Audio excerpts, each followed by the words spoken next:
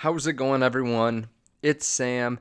I want to talk to you about Fubo TV. They just announced their fourth quarter earnings and they had a little bit of a sell off here. So I want to talk about it, talk about the good, the bad, the ugly, all that, whether it makes sense to invest now, what I'm doing with my shares, and what I think about this. It is a mixed bag, and I'll go through, you know, the pros and cons to Fubo TV, talk to you a little bit about it. I've talked about it before, but it is an interesting company that has had a lot of hype behind it. Because if you remember, this company was a SPAC. It's gone from a $10 company to a $60 company, $62, and now back down to about 42. So it's definitely one that you should be paying attention to.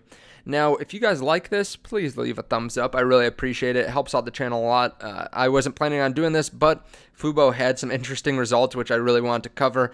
Also, there is a link down there to Webull in case you want to buy uh, some different stocks pre-market or post-market. You can use that app.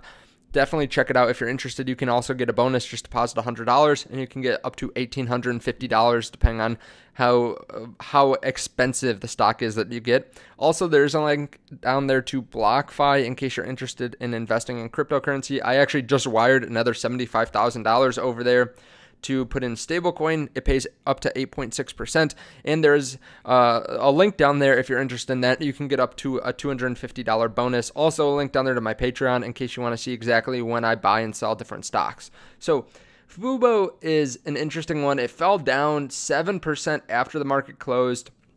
It was up 8% about today. Their fourth quarter earnings were pretty impressive from the side of the revenue. So if you look at the third quarter revenue, they had about $61 million in revenue. They had about, I believe, yeah, right here, 455,000 subscribers, paid subscribers. Now, if you don't know what Fubo does, they're a streaming service that really focuses on sports streaming. So they bring in a, a really high amount of revenue for the packages that they provide because they charge a good amount. Their their average client watches a, a, significant amount of hours. I believe it was 120 hours a month is their average client. So they have a lot of people interested in this service and they're able to charge a good amount. They just reported, again, remember they had 61.2 million in the third quarter. In the fourth quarter, they had revenue of over 105 million, and now they have 548,000 subscribers. They had about 93,000 just in the fourth quarter, which is a huge increase year over year, about 237%.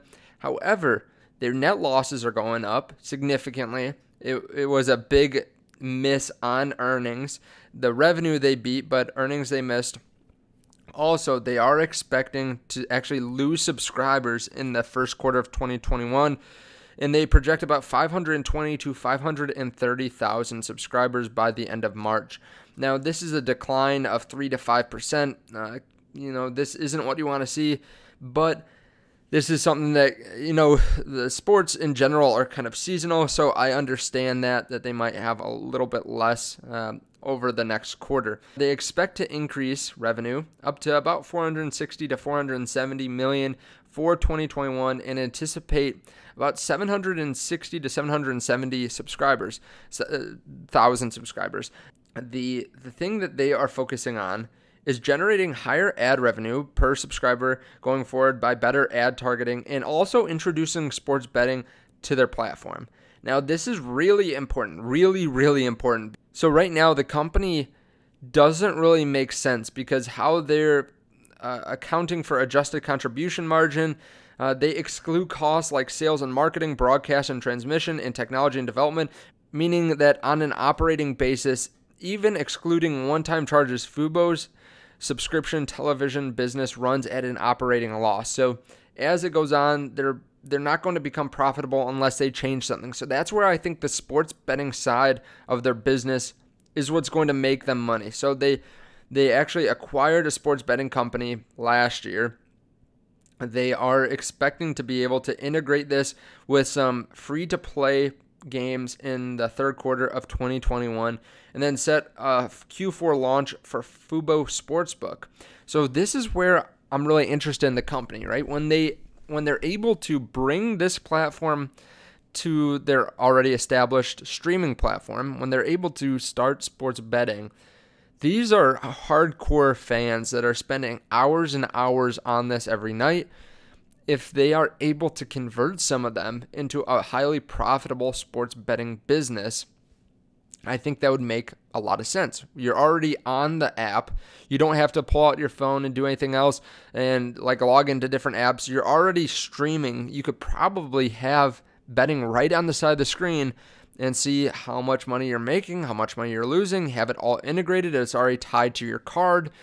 I think it makes a lot of sense to be able to piggyback this on. And I realize right now how their business is set up might not make a lot of sense for scalability and it might not actually make money where it is now, but they are looking to be able to tie the sports betting to it. They're a company that's trying to make money, so they're going to try to find a way to do that, and that's why they acquired the sports betting company.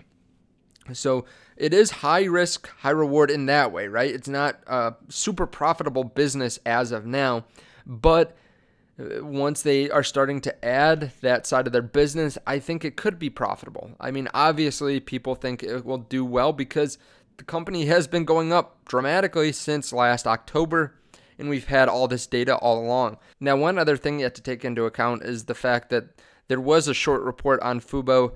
There are firms that are apparently trying to sue them. You can see here uh, anyone between March 23 and January 4 that bought shares. Apparently, they're encouraging them with if they have large losses to secure counsel. So, if you look though, anyone that was before really December, uh, between December and end of December, mid to late December, has pretty much made money on this. So I don't I don't think this is going anywhere. I think this is an ambulance chaser type scenario. We see it in the stock market all the time with any new SPAC that's announced. Uh, whenever there's a short report and people try to make money by pushing the stock price down, there are people that are pissed off and want to sue the company and stuff like that. And you can kind of do research on your own. I'm still holding my shares in this. I don't think it's that big a deal. I think there are a lot of companies that have stuff like this that come out against them. Maybe they're easy targets and people want to make money off the share price going down. So that's kind of my opinion on it, but definitely do your own research on it too. I am not personally buying more at this at this time. But if you're looking to get in over the long term, if you're wanting to get into sports betting, but also streaming in a little bit of a different play here, I think it would make sense. Now, of course, I'm not a financial advisor, I'm not a stock analyst. This is a higher risk, high reward play, and it's still up at $40. So I might see if it falls down a little bit. You know, I think we have seen lows that we haven't seen here really in a month. I mean, it fell down to 34, 35. Uh, but we haven't really seen lows this low in a little while. So definitely check this company out. I think it's one that you should definitely put on your radar, if nothing else, and do some research on it because I think it is an interesting one.